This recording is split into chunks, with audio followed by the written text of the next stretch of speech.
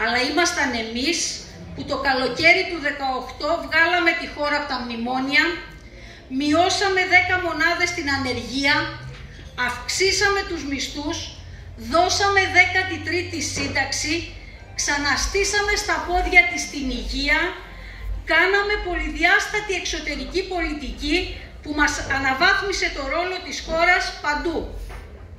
Και αφήσαμε και 37 δις στα δημόσια ταμεία για να μπορεί η χώρα να είναι ακόμη στα πόδια της. Αυτά δεν έγιναν από μόνα τους. Τα έκανε η κυβέρνηση ΣΥΡΙΖΑ με πρωθυπουργό τον Αλέξη Τσίπρα.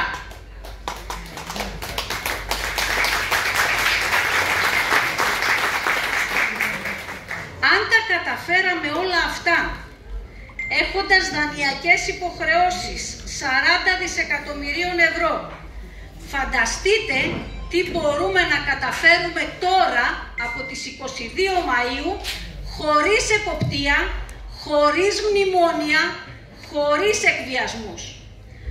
Αν τα καταφέραμε όλα αυτά ένα κόμμα των 30.000 μελών, φανταστείτε τι μπορούμε να καταφέρουμε ένα κόμμα των 170.000 μελών.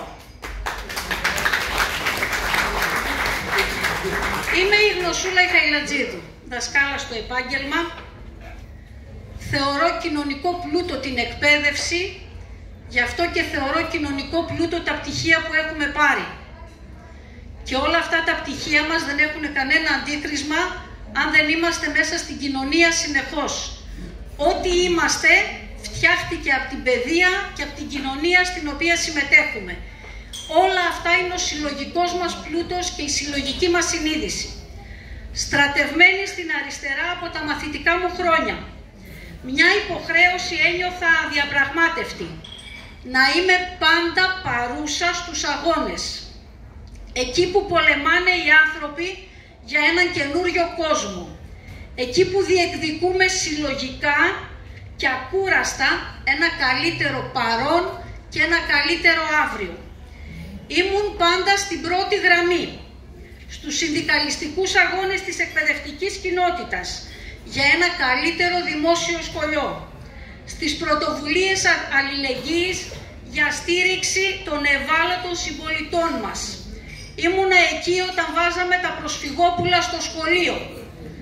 Ήμουνα εκεί στους αγώνες για την ισότητα των δύο φύλων και τα δικαιώματα των γυναικών Ήμουν στα έδρανα του Δημοτικού Συμβουλίου για μια καλύτερη ποιότητα ζωής, για μια καλύτερη καθημερινότητα στο Δήμο Κατερίνης. Ήμουν στην Κεντρική Επιτροπή του ΣΥΡΙΖΑ όταν ο σύντροφος Τσίπρας και ο σύντροφος Τσακαλώτος ερχότανε και μας ενημέρωναν και ζητούσαν τη στήριξή μας στις σκληρές διαπραγματεύσεις που έκαναν στην Ευρώπη. Ήμουν πάντοτε παρούσα με συνέχεια και συνέπεια στις μάχες που δώσαμε για να πετύχει η πρώτη φορά αριστερά. Είδα κι εγώ, όπως και άλλοι σύντροφοί μου εδώ μέσα, τη μεγάλη εικόνα και όχι την ευκολία της αποστράτευσης και της χαρούμενης επαναστατικής στάσης, όπως είπε πρόσφατα ο σύντροφος Τσίπρας. Ήμουν πάντα παρούσα στους μικρούς και μεγάλους αγώνες για την πιερία και για τη χώρα.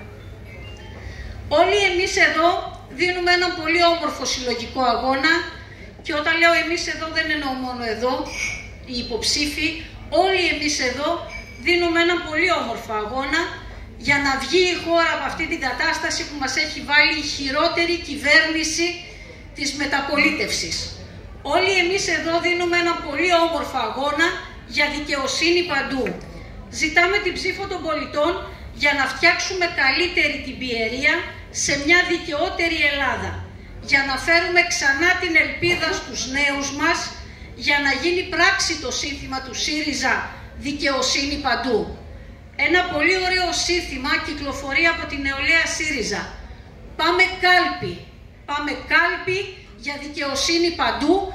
Πάμε κάλπι για το λαό αυτής της χώρας που το αξίζει το καλύτερο Είμαστε εδώ, μιλάμε με τον κόσμο, είναι βέβαιο ότι θα τα καταφέρουμε, είναι βέβαιο ότι στις 22 Μαΐου έρχεται η αλλαγή στη χώρα και τα πράγματα θα πάνε καλύτερα με πολλή δουλειά.